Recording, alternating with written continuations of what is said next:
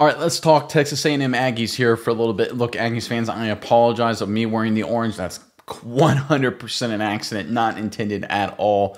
But let's talk Aggies football here. Obviously, this has been a heck of an offseason for Texas A&M. Moving on to new head coach Mike Elko. There's been a lot of big moves with Texas A&M. Some of them are already paying big dividends. Let's go into one in particular that's already doing awesome for an A&M and should have a big impact both in the short and long term. Let's pull up this report right here and get right into it. All right, from the report, 24 7 Sports' Brad Crawford did an article on the top 10 recruiters in college football based on the results for the 2024 recruiting cycle at their current venues, as well as their previous, previous stops if they moved on after the 2023 season. New Texas A&M receivers coach Holmon Wiggins finished second overall with non-signees between his current gig as well as his previous one with the Tide.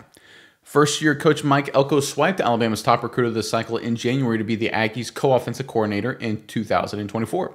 That personal move came before, really important here, Nick Saban announced his retirement.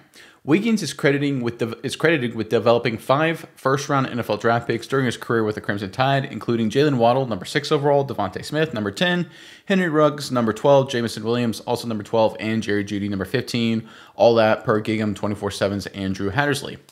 Uh, the report goes on to say his nine signees averaged a 93 rating per prospect, which is absolutely redonkulous. Wiggins' biggest move after coming to College Station was the help he provided in getting four star Houston area product Ashton Bethel Roman, obviously a huge get, after he asked out of his letter intent with Arkansas, where he signed in December look, these are the moves that don't get all the headlines, but hiring the right assistants to help in the recruiting and development is arguably the most important thing a head coach can make. And I think that's the theme that we're seeing here. Mike Elko making a lot of smart moves. They're kind of flying under the radar, but I think it's really good stuff. I'm going to get more detail on the other side, but first, A&M fans, now that the 2024 recruiting cycle is pretty much in the books, in the comment section below. Give us the one recruit you expect to have a big impact early for Texas A&M. They've got 17 new guys, I believe, plus potentially any walk-ons coming into the fold. So give us the one new Texas A&M Aggie that you think will have a big impact in 2024, and put them in the comment section below. But going back to Holmon Wiggins here, let's pull up a picture of him. This is him from his time in Alabama. I want to focus on one of the errors that a lot of coaches make when they go to these big time programs, and Texas A&M is obviously a big time program. We've seen this with a number of coaches at uh, Tennessee. We've seen it with a lot of debacles at Florida, right? We've seen you look at Auburn's a good example. Gus Malzahn had some issues after some early success. Now we see it with Hugh Freeze. Auburn's kind of a dumpster fire right now. The reality is, a lot of these head, head coaches come into these big programs and they don't bring in the right assistants, so they can't recruit and develop. We forget in the college football landscape that we're we're just so head coach centric. We're like Nick Saban is great; he does everything. You know, uh, Jim Harbaugh was fantastic at Michigan. He did everything, but Jimbo Fisher didn't get it done, you know, things like that. But in reality, the head coach, you get pulled in so many directions. It's, it's really just sort of like a CEO kind of role where you got all your guys underneath you actually doing the legwork. You've got to do a lot of the bureaucratic stuff, the administrative stuff. You got to do the PR stuff, the, the shaking hands, the meeting people, taking the pictures, right? That kind of stuff. That takes up a lot of your time.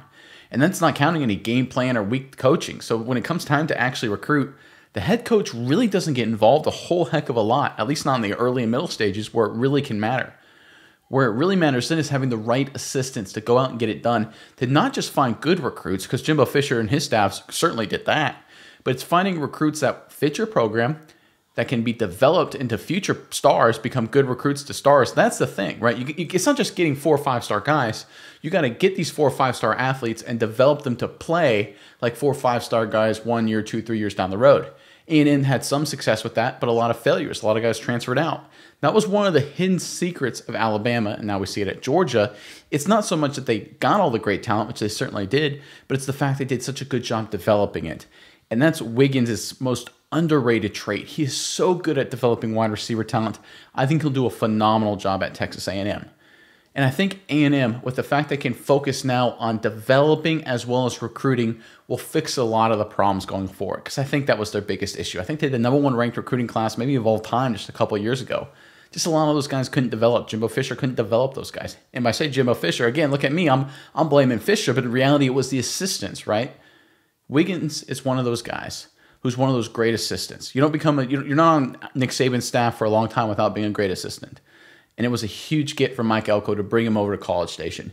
It's one of those moves that you don't really think about it. It kind of doesn't go noticed for a long time, but it's these kind of hires that can separate the average from the good, the good from the great, and the great from the dynasties. Again, it doesn't seem like a lot, but it's critically important to get these key assistants right. Wiggins, throughout his career, great at developing, great at recruiting. He will have a huge impact at Texas A&M for such a long time, as long as he's there, and we're already seeing the early dividends of it.